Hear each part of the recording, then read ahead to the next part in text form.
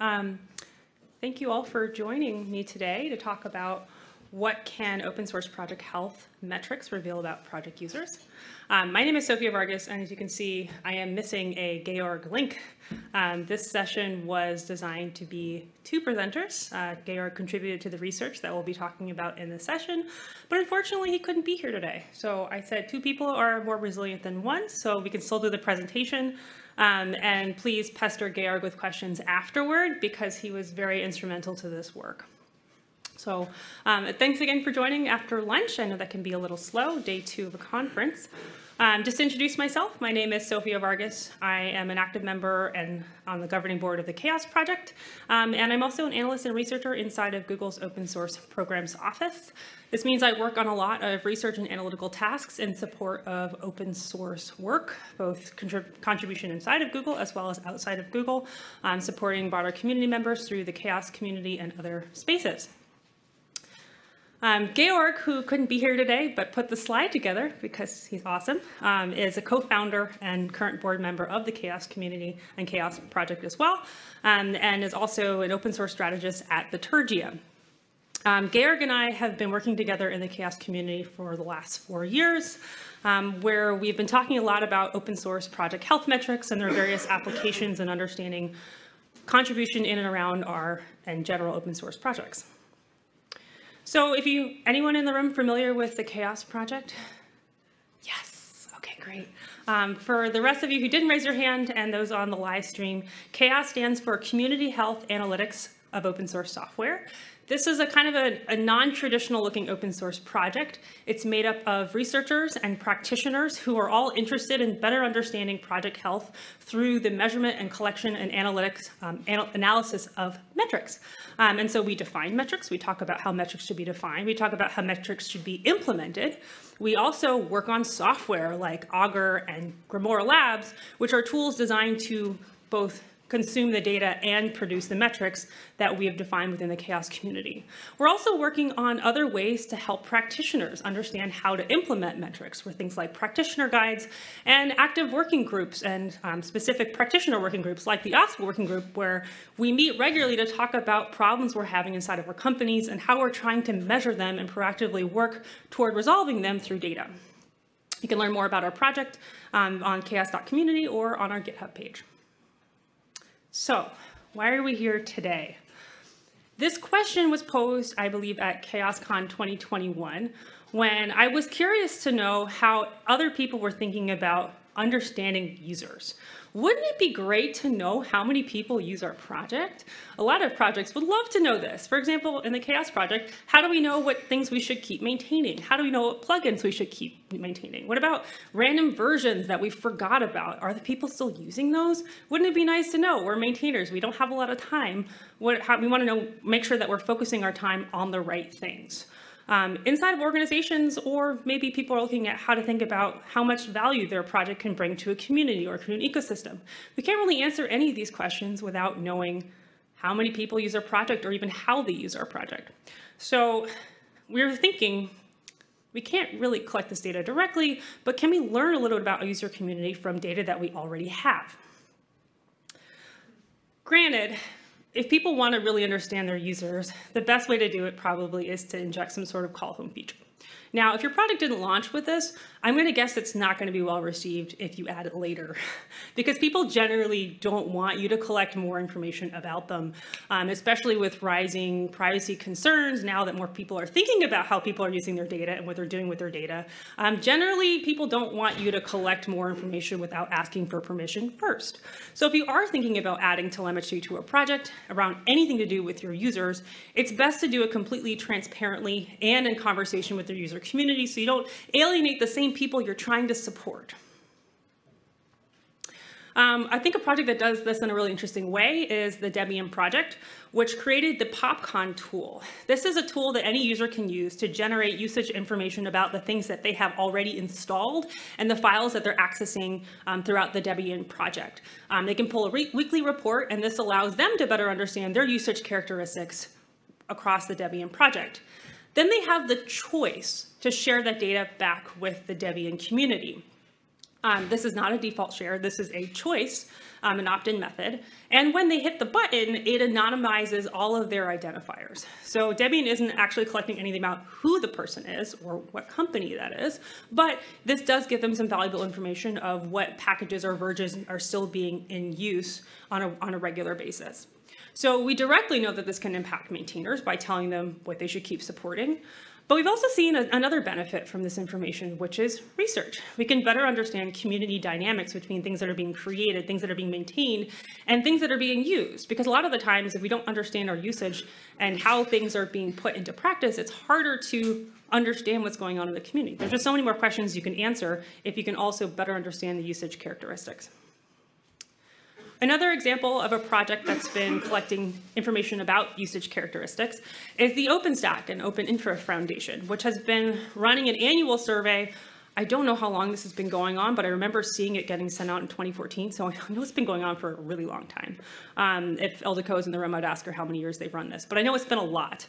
Um, and yes, it's a survey, so it's opt-in by nature, and so you're not collecting information from every individual user about every individual case, but you are getting a lot of interesting information, because in the Open Infra project and foundation, there are a lot of sub-projects, as you can see from this graph.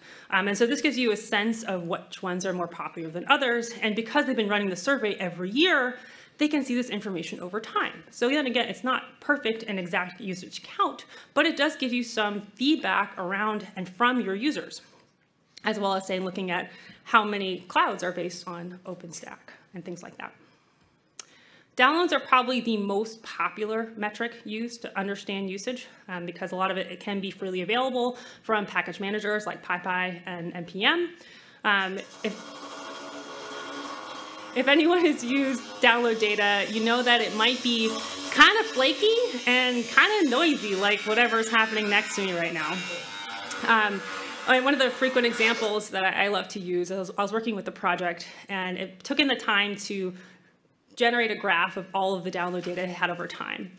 And the person was bemused enough that they called me and put the slide up and it was a sine wave, as in the graph went like this. And clearly that was not based on actual user behavior and most likely some sort of automation or CI CD system. So clearly download data is flawed. It is noisy. It represents individual downloads, which could be one person who's reimaged their machine 10 times, or one person installing one package across thousands of machines, and we can't really see that granularity in just information from this. So interesting, but noisy, and maybe not as helpful. So that brings us to the general question of what about other sources of information? We, within the CHAOSS community, look at a lot of different kinds of metrics about open source projects, open source contributors, people that interact with open source projects, all in the name of looking at what's happening in and around that project and community. But we know intrinsically that not everyone who interacts with our project is a contributor. They might be an interested party. They might even be a user, in which case we suspect that user and usage data is also being captured in the same metrics that we use to evaluate project health. So in addition to things like downloads, we also might have users submitting issues on your GitHub page or other issue trackers. We might see users signing up for mailing lists to understand what's coming in your roadmap of your project, um, or even submitting questions on forums and Stack Overflow asking about how other people are using things and trying to get more detailed information from other users and contributors in the community. Social media has also been a prominent source of information, how many people are following your project, how many people are talking about your project also very noisy if anyone's looked at that data. Um, and another really popular one is looking at web analytics. How many people are visiting your website? How many people are visiting your documentation? How many people are repeatedly visiting your documentation? Because that's a pretty good indicator that they're trying to use your thing. And then, of course, how many people show up at events um, and how many people are present in the spaces that are easily countable. Um, Georg and I have been talking about this for, again, since 2021. Um, and we originally wrote a blog post um, published on opensource.com. I have it linked here with eight ideas to measure project usage through these sort of proxy metrics. And we talk about the pros and cons. We also list a number of very specific metrics if you're curious about that. And that was sort of the initial exploration into this concept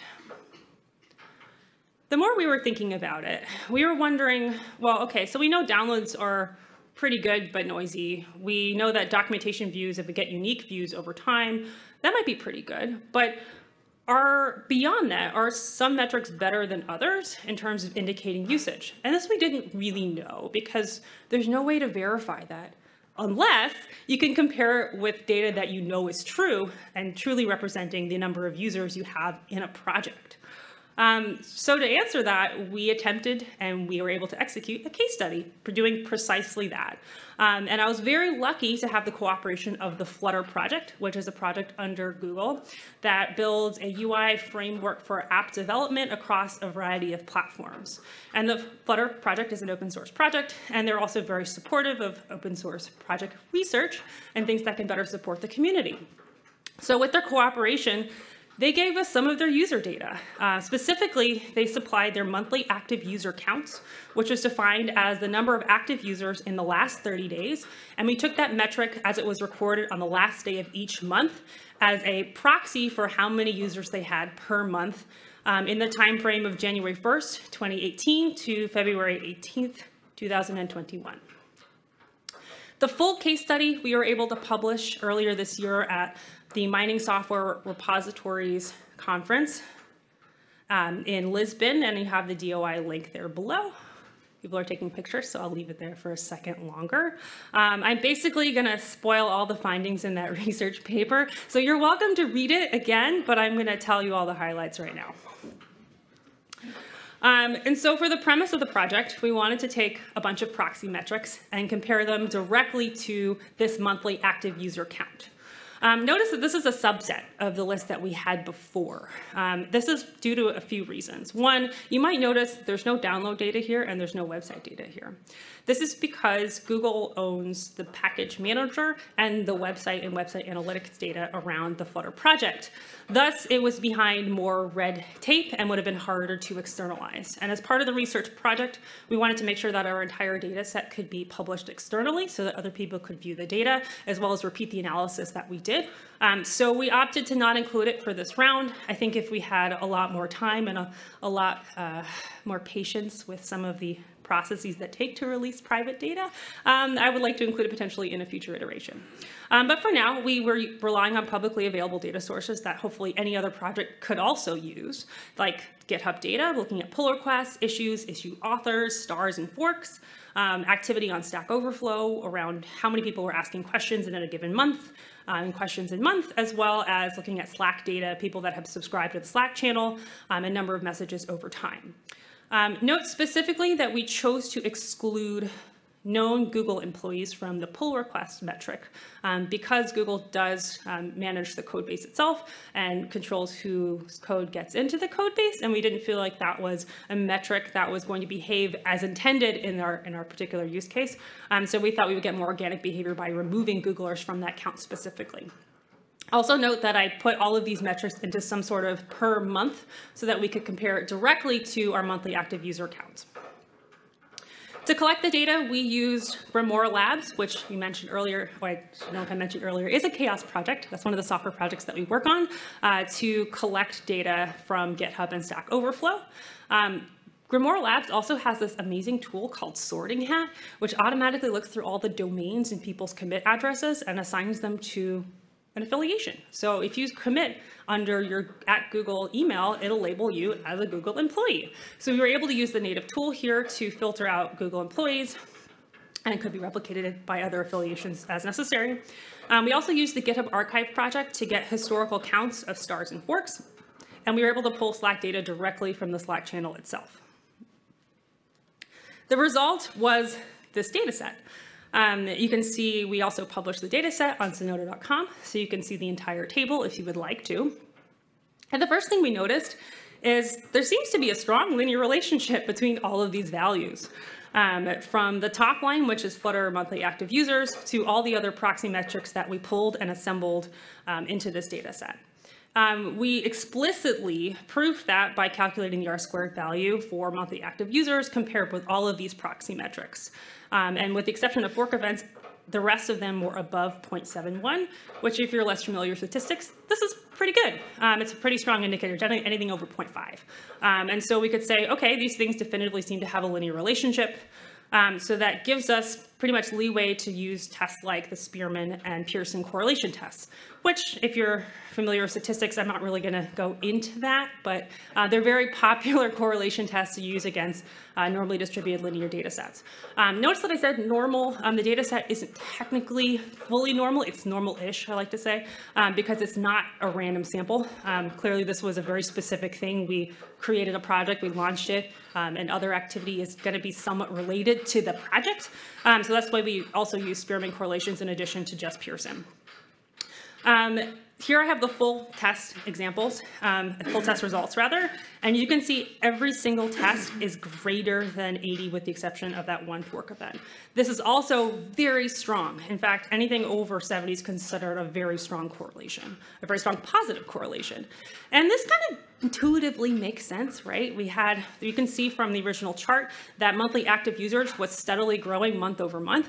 And so it makes sense that all of these other proxy indicators would also grow steadily month over month. So cool, but like not particularly groundbreaking. Um, stars and forks do come toward the top, but again, everything's pretty strong. When we ran the same tests looking at month over month growth rates and then compared those with the same correlation test, here we see a lot more variance. We didn't see as much, well, pretty much any relationship with uh, Slack messages or members, um, potentially less with pull request issues and less with issues, but stars and forks, once again, coming toward the top. Um, this was somewhat surprising for us uh, because we when I say we, me personally, I've been discounting stars for a while as a viable metric. I always kind of viewed it as a popularity metric, right? You're like, oh, that looks kind of cool. I'll put a star. People ask you to start their project. And so like, okay, it could give you a sense of popularity, but is it is actually indicating usage? This kind of indicates that it might be. So maybe I shouldn't be discounting stars, um, and in fact, should also be considering forks. We took this one step further. Because the data itself, if you remember the original chart, showed a very strong linear relationship between all of these metrics, we thought, could we, say, using algebra that we learned in like middle school, create a simpler, simple linear forecast model by generating the slope value of the relationship between each of these individual proxy metrics. So we did that, and then we compared the slope to the per average ratios between these values, and then looked at the standard deviation between the two. And the results indicate once again, that cumulative fork counts seem to have the most consistent relationship and predictive relationship uh, to monthly active users. This meant that at any given month, if I plugged in that cumulative fork count into the slope generated by this, by this um, equation, then I would get to, well, I mean, granted there was a, an error bar, but a pretty good sense of how many current active users were using Flutter at the time. So are forks a good proxy for usage? you see this is a question mark, and I have a picture of my slightly bemused cat who I don't think has a lot of brain cells at the moment. Maybe none at all if you're familiar with the orange cat brain cell theory. Um, but if you have ever worked on a research project, we usually end up with more questions. And here, again, we have more questions. This is one case study over one time period using a subset of the metrics that we think could be viable indicators of usage. But I think we got some pretty interesting results. Um, one thing to note, we did reach out to the Flutter project and we asked, so do you have any sort of documentation or guidance that would yield this kind of behavior about forks, like in terms of either how you're guiding people to use or contribute to your project? And they said no. So this seems to be organic behavior. Um, again, question mark, are forks a good proxy for usage? Maybe I should add stars to that too. Um, that's actually it. So Georg and I were going to do this together, and we had a whole conversation planned, and now it's just me. Um, but we really wanted to open it up for questions, and I'm also really curious to hear from the room if other people have attempted to measure usage using other approximations um, and whether or not you've had any success with that. Um, I'm also, clearly I'm here to answer any questions. I can go back to any of the research that we discussed.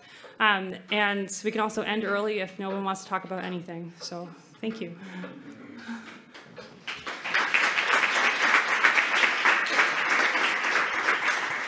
Hi, uh, so I'm, I'm Nitish Tiwari from Gartner, uh, and last year we published a toolkit about uh, how to assess open source projects. And uh, it's, it's an Excel-based toolkit, but some of the metrics that we use, so of course, we wanted to make it as simple as it could be so that, you know, maximum uh, of our clients can use it. But one other metric than the votes and stars we use were watchers, which definitely turns out to be pretty important as well, that how many users are actively watching a particular project. Uh, secondly, I have a question uh, uh, about for, for CHAOSS. Uh, by the way, I'm a fan of your work. CHAOSS community is doing really great work here. Uh, but the challenges are getting more complex with XZ library coming into picture. So any new metrics that CHAOSS community is thinking of introducing to, to, to you know, verify the maintainers or validate the maintainers? To verify maintainers. Yeah. Not in CHAOSS specifically. Um, I'm looking at Dawn is here. No, she's also nodding her head. This we haven't quite discussed this as much. I think in CHAOSS we've been looking more at aggregate statistics of community behavior and using that as an indicator of how things are going. Um, I think I was thinking about the uh, session, panel earlier that I heard on supply chain security track. If folks were there in the room where we were, they were talking about the inherent conflict of collecting more information about individuals and wanting to ensure the anonymity of any one individual, and then instead relying on metrics that can reveal process gaps versus potential suspicious actors. Um, and so I think within CHAOSS, we do have a number of metrics that can look more at the procedural health or operational health of a project um, versus looking at the behavior of any one individual. But in theory, you can. I mean, a lot of the data is out there, even if you don't know who the identity is. Um, but we haven't been looking at that specifically. Okay, thank you. Uh, yeah, two things. Uh, the yeah, the stars. I mean, I it's kind of a running joke that the number of stars are germane to um, or indicative of performance health, so or open source project health. So I, I, I assume you know based on what you said, it's you're that's not really taken into consideration that much. I didn't quite understand the math behind that, but the um, the other thing is, you know, we I didn't do this, but somebody on my team um, was running to help. I mean, he was he did the um, the nature of the pull request or specific um, pro specific projects. Okay. For example, the security issues they were having, he ranked those. Uh, is that something that kind of, um, or is vertical data or sub data sets, is that in the works for CHAOSS or is that a discussion? It, it was a discussion, and I say was because I'm going to call out another individual who I don't see in the room, so I'll just have to reference her by name. Kate Stewart uh, and, and I and Sean um, Goggins for a while attempted to get more into the granular detail of issues and pull requests by reviewing tags. Um, and the challenge that we had is that no project consistently uses tags, um, especially even for things like bugs and especially security issues. Those are often obscured uh, intentionally. And so when we were trying to sort issues and pull requests an activity specifically around more contextual information in the project, we couldn't really do it on aggregate. We could do it for individual projects. There are some projects that have really robust tagging systems and strategies. In that case, then you could say, look at the activity generated around things that you know might be more akin to user issues versus like central maintenance problems that are probably being worked on by contributors or even certain classes of contributors. Um, and so we've done that, or I've done that personally for individual projects, but not aggregately because of that challenge. So per project, that's, that's pretty feasible. It can be, yeah. Okay. If the project has a robust tagging strategy. yeah. Um, and yeah, and just come back to the, the stars piece. Um, more, I guess the, the math indicated that there was a strong correlation. That doesn't actually, again, a correlation is not causation. So just it, take that with a grain of salt. There just seemed to be a strong relationship between the two values. Yep. And also, I don't really look at stars for health. This isn't necessarily looking at health, it's looking at usage. Middle school algebra.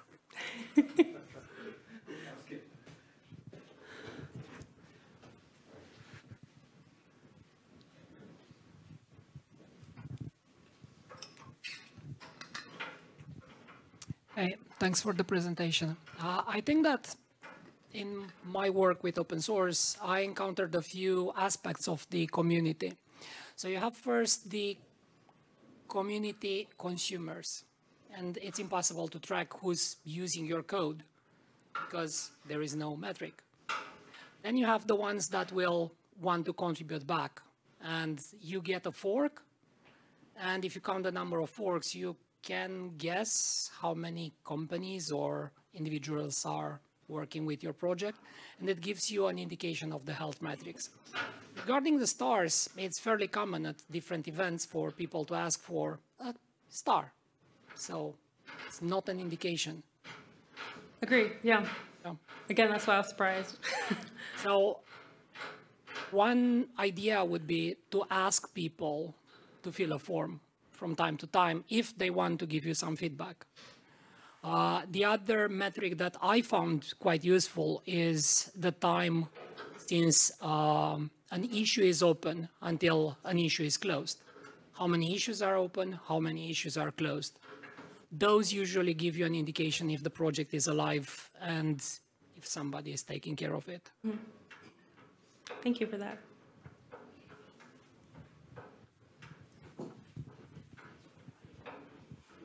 Actually quick thing because I did a talk on some of this stuff uh, not too long ago, but I pulled up some stats regarding the labels and making it easier to like look at things.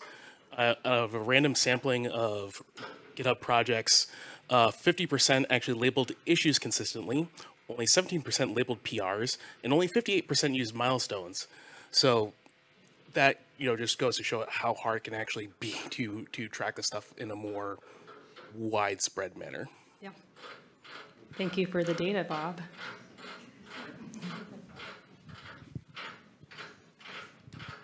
Hey, Great talk. Uh, so I pulled up, I took a picture of the graph earlier. I had a question about, so you could see the number of forks actually increasing. That is very interesting. I was wondering why, in at least in the graph, th- th- there the, it doesn't seem to lead to more pull requests being open, though. Like in the graph, it doesn't show the pull request line doesn't show basically, as far as I can see. So, is there is it good that a project has more forks, but not as many pull requests? This could have been flawed by my methodology because I removed Googlers from the pull requests, but not from the fork. Oh, okay, I see. Yeah. Yeah, um, and that was again because of the pull request process being tied to the submission of a commit, whereas anyone can fork and do anything. So I think possibly I should have just excluded that metric because I, I thought it would be too flawed in, in its nature. Um, so the other reason why you can't see it is because the numbers are very small. So I'd have had to use a logarithmic scale in order for that to come up in it. But I wanted to showcase the linear relationship, which is why we stuck with a regular graph. Thank you for the question and for pointing out flaws in my methodology. I know it's good. I- This is research to be challenged. If I don't learn anything, I've, I'm flawed. So I saw another question in the back. Yep. Oh. Sorry. Um, I uh, missed the start of your talk, so I apologize if you mentioned this. But uh, one thing I'm particularly interested in is trying to identify communities that have a risk of the bait and switch or rug pull type license issues and moving to proprietary licenses. Uh, have you done any investigation into that, or did anything come up in your investigations, or just what's your general opinion on it?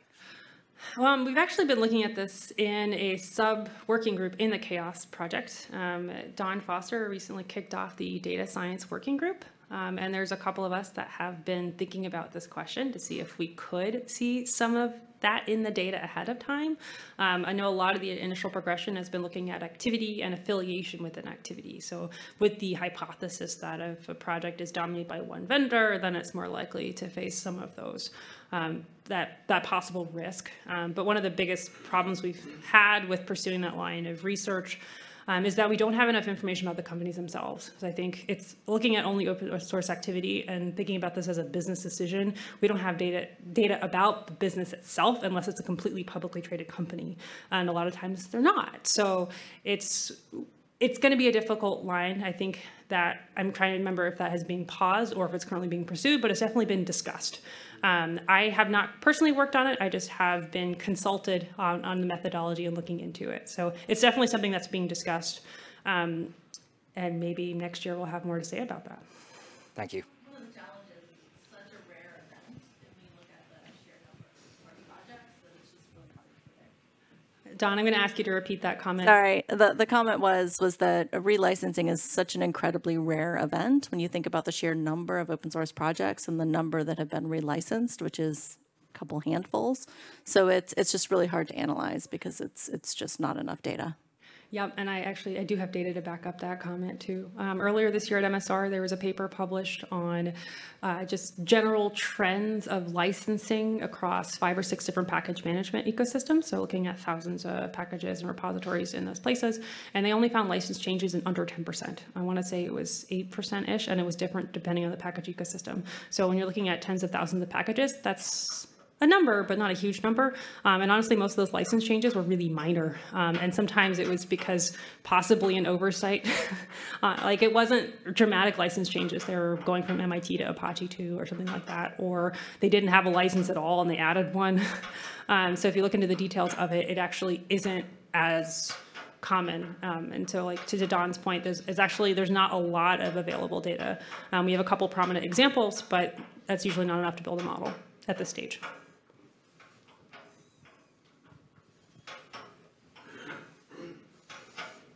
I thank you. Uh, are you going to look into um, a more qualitative analysis on impacts, on impact an organization can have on like open source ecosystems and projects? Like I don't know, Google willing to quantify um, how much they are yes investing. And Yes. um, I, I've done a whole number of projects related to this question. I think generally the question changes by project. Um, there's sort of the general question of how healthy are the projects in our ecosystem or portfolio, the inverse question being how healthy are the projects that we consume uh, inside our infrastructure and services. Um, and particularly for a company like Google, this is a very large number of projects on both sides of that. So there have been attempts to look at things more aggregately, but I think I've been more involved in projects that have looked more specifically at individual projects. And the ones that have gone, it's when I say the ones, the efforts that have gone better are ones that have concrete goals in the end. If you are looking at, say, improving community engagement and then looking at metrics that will track community engagement and say participants and new participants coming in and retention of their participants, then you have a direct baseline and results to analyze as you change your behavior. Um, I've worked with a number of projects that have just sort of collected data because they were curious, but that often doesn't lead to a lot of action if they don't really know what they want to do with that information. Um, so it's sort of in, in, metrics and efforts in general, um, the ones that have worked better again have had very concrete goals and measurements against those goals. Um, and that's a very generic way to answer your question because we've, we've done this exercise with many different flavors in the past. So if you have one specific one you want to talk about, then we can focus it on that. Thank you.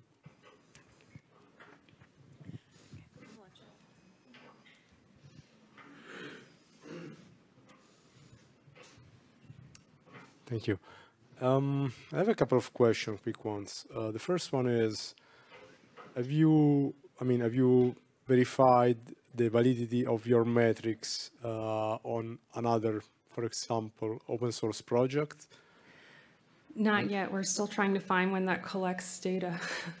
um, and even a project like Flutter, I, I, didn't mention this before. So they had an, an opt-out method and also collected data around how many people opted out. So their numbers were pretty good. Um, and then they recently changed their telemetry process and policy. Um, and now they have less accurate data around their user accounts because they moved to an opt-in model, um, which is more popular at this point with other projects. Um, and we've just, we've had a challenge to get other projects that are collecting data to share their data with us. So if you have a project and you're collecting open source usage data, I would love to look at it. Um, but yeah, it's, that's been a challenge. Um, and we're actively hopeful because of the partnership and adoption of the SCARF project. If folks are familiar with SCARF, it is um, a usage analysis tool that was developed by other open source enthusiasts. Um, and is being added actively to some Linux Foundation projects. It's still early stages, so we don't have a lot of data and that data isn't actively being shared broadly, but we're hopeful that maybe we can have a little bit more to work with and that will be focused more on downloads, but they do collect more en enriched metadata around it and potentially we could learn from that as well. Thanks. And the second question is, I mean, personally, myself, I work in functional safety uh, in Red Hat. So, and right now, uh, especially now, the current trend is to also look at software reliability uh, to evaluate, you know, what is, you know, to, as a possible, you know, uh, evidence to, to, to make a safety claim on, on a piece of software. So my question is, do you also intend to, I don't know, to extend the research to uh, create a, a reliability model uh, by looking at the, you know, defect rate versus usage? I haven't looked at that, but other researchers have. Um, we've looked at using health metrics to look at possible risk in projects or possibility for um, either being abandoned or having vulnerabilities crop up. And actually, one of one of my favorite pieces of applied research came out of Sonatype when they looked at all the metrics and scorecard and use it as a seed. Uh, use it against their repository of information to see which projects actually had vulnerabilities as a way to test which metrics were better indicators of possible vulnerability or security issues down the road. So I was a big fan of that one. I think that was their 2003 report. Um, but in terms of doing this myself and looking at sort of the usage versus um, impact on the project. Um, there's a researcher, Kaylea Champion, who just completed her PhD actually from North, no, she's Washington State, I'm sorry, sorry, Washington University. She, this is on recording, and so if you just listen to this. um, and she was looking specifically at the Debian project between production and demand. And so looking at supply demand as an indicator of risk um, of underproduction. Um, and so for her, the, the research did capture a number of projects that were being used more than they were maintained. Um, and so she's sort of uh, that research was looking at whether or not surfacing that information could do anything about that project. And it's uh, sometimes it, it doesn't. I mean, if it's one maintainer and they find out a lot of people are using their project, they'll probably just keep doing the work, but maybe they might not do more work. Um, and so this is an open question in terms of how people would react to that. And there have been a number of researchers that are looking at the impact of providing proactive metrics to the maintainers directly to see how well that kind of information could change their behavior in the moment.